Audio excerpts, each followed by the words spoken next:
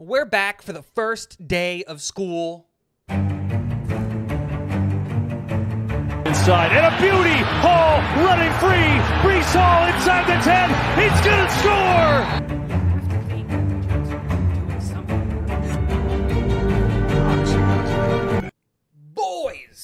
What is going on? Boys and girls, welcome back to Talking Jets with Tigo. My name is Tigo. Get your last goodbyes to the intro. The New York Jets are recording their promo stuff, and we're going to talk about all of the news that happened today, recapping the first day of training camp. And I'm going to start with the biggest news, in my opinion, of what we saw at a training camp.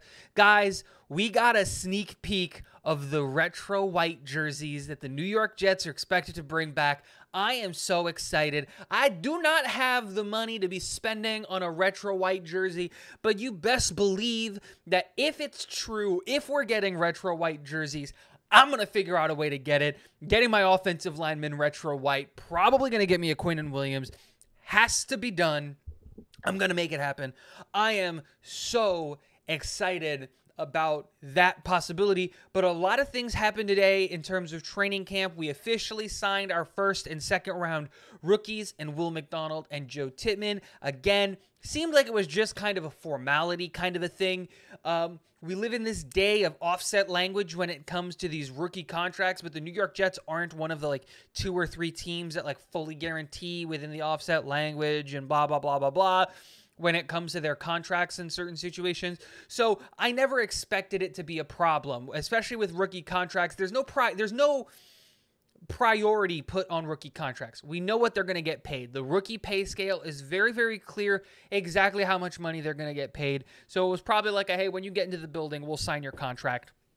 Easy, breezy, beautiful cover girl. But we got to hear from a lot of New York Jets. Specifically, we got to hear from Alijah Vera-Tucker, DJ Reed, CJ Mosley, and Quinnen Williams all talking about this new atmosphere in the New York Jets. And I think the interviews or the person that got me the most excited was the DJ Reed uh, interview. As I was watching that, my wife as my witness, I literally paused the video and I go, I cannot believe this guy plays for my football team. Not only is he intelligent uh, when it comes to just football acumen outside of just playing his position. But the guy is a consummate professional, always says the right thing. And the best part of all is that he is an elite player. He plays at such a high level. And to see him being some of the guys, one of the guys that the rest of the defense goes to to talk to, you saw that in him talking about Quinnen Williams talking to DJ Reed. And we'll talk about Quinnen in a second but like the competition with him and um, Sauce and pushing each other to be better and just what the standard is every year. And I loved that out of DJ Reed. And one of the things that he said that really stuck out of me was every single player was asked, Hey, Quinnen Williams got extended. What do you think? And everybody said the right thing. Quinnen Williams is a dog. He deserved to get paid. The New York Jets knew he deserved to get paid. He got paid. Everybody's happy. And I think one of the biggest things was uh, this could have been just all for show, but I actually do believe that Quinnen Williams is this type of player. I believe 100% that he would have been the guy who said, you know what? I want to get better. I don't just want to get paid and follow my laurels. And the Jets have seen that way too many times in the sense of, hey, we pay a guy and then he's just like, well, I don't got to work that hard anymore. Well, we're not going to see that from uh, Quinnen Williams, and that's really good for this football team. I also just love the competition that we're seeing. CJ Mosley talking about how Aaron Rodgers is winning the competition between the two of them right now, but he's going to get him on a few. How Sauce and DJ are competing to see who can get the most interceptions from Aaron. And I'm sure that when Aaron has his availability for the media and he gets asked about these questions, he's going to come back with that competition and be like, look, I'm not going to let these jokers get any interceptions on me.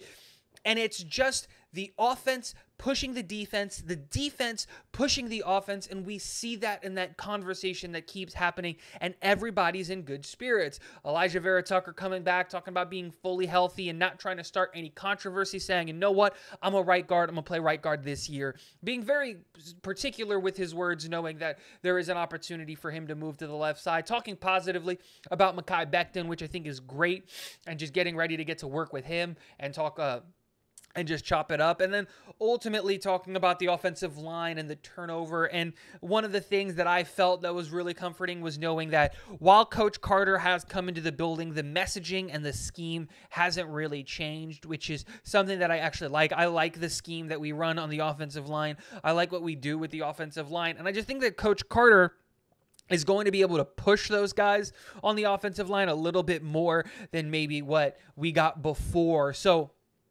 Love to see it. Loved this this beginning of this.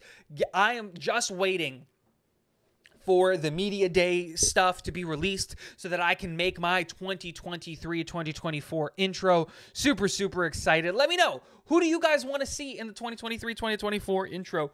What plays would you want to see let me know in the comment section below. Let me know what you think about day one of training camp. I'm super excited. Had that first day of school vibe all over my face. Wore my Jets gear today.